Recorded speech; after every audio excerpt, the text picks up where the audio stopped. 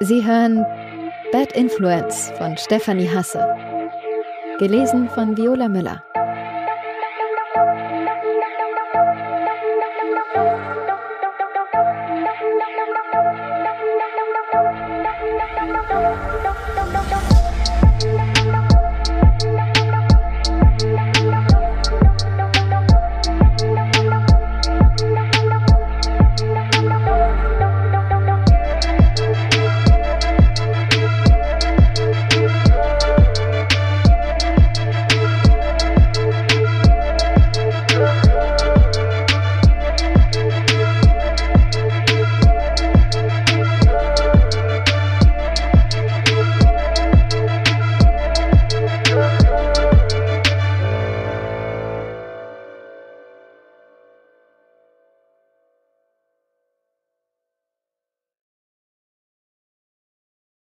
Prolog Ich weiß, wo du heute in sechs Monaten sein wirst, Tara.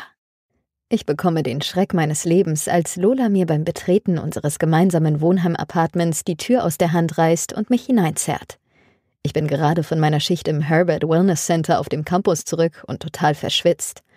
Schon der Tag davor war prall gefüllt mit Trainings und Theoriekursen. Ich fühle mich so fertig, als hätte ich den ganzen Tag das Training der Sportstudenten absolviert, dem Großteil meiner Kunden im Center. Dabei studiere ich Sportwissenschaften. Zu perplex, um direkt zu antworten, blinzle ich Lola nur völlig überfordert an. Sie schiebt mich durch den schmalen weißen Flur vorbei an den gigantischen Pop-Art-Originalen und der Büste irgendeines Typen, den wir gleich nach unserem Einzug hier Stony getauft haben. Selbst ein Semester später wissen wir immer noch nicht, wen er darstellen soll oder warum Lolas Innenarchitektin es für eine gute Idee hielt, ihn in unserem Flur aufzustellen. Er gehört eher in ein Museum, nicht in das neu gebaute Studentenwohnheim der University of Miami. Erst als wir im Wohnzimmer landen, haben sich mein Puls und meine Atmung wieder normalisiert und ich bin in der Lage zu sprechen. In sechs Monaten bei meinen Eltern in Minnesota? Erwidere ich, was mehr nach einer Frage als nach einer Antwort klingt und dafür sorgt, dass Lola laut schnaubt. Ihre hellbraunen Augen funkeln vergnügt unter dem dunkelbraunen Pony hervor. Falsch. Ich habe viel bessere Pläne für uns und es wird so episch werden. Sie drückt mich auf unsere viel zu große Couch und lässt sich mir gegenüberfallen.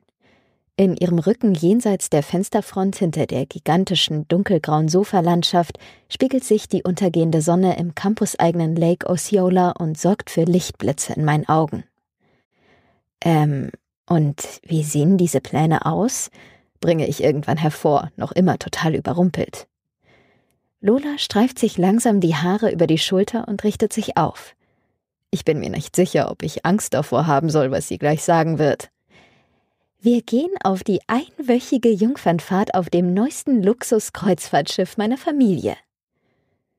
Unwillkürlich sehe ich zu unserer Kinoleinwand hinüber, auf die ein Beamer, der in der Decke eingelassen ist, mindestens einmal im Monat die dramatischste Jungfernfahrt der Welt wirft. Titanic ist Lolas Lieblingsfilm, was an Leonardo DiCaprio liegt, wie sie mir immer wieder versichert, und nicht an ihrem offenbar mit der Muttermilch aufgesogenen Fable für gigantische Schiffe.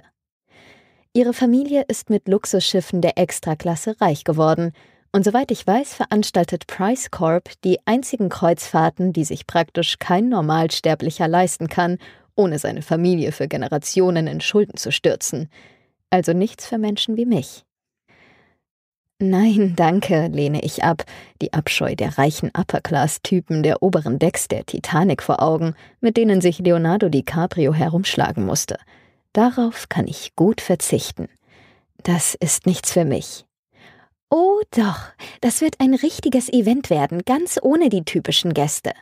Dann sieht sie über mich hinweg und brüllt laut Jonah, ich brauche wohl doch deine Hilfe. Ich folge ihrem Blick zu unseren Schlafzimmern auf der Galerie. Eine der weißen Türen öffnet sich und ein nicht nur mir allzu bekanntes Gesicht verlässt Lolas Schlafzimmer. Jonah Price stützt sich lässig auf dem gläsernen Geländer der Galerie ab, von der eine offene Treppe nach unten führt, und knipst sein 1000 Watt Lächeln an. Tara, das ist mein Bruder Jonah, stellt sie ihn mir unnötig.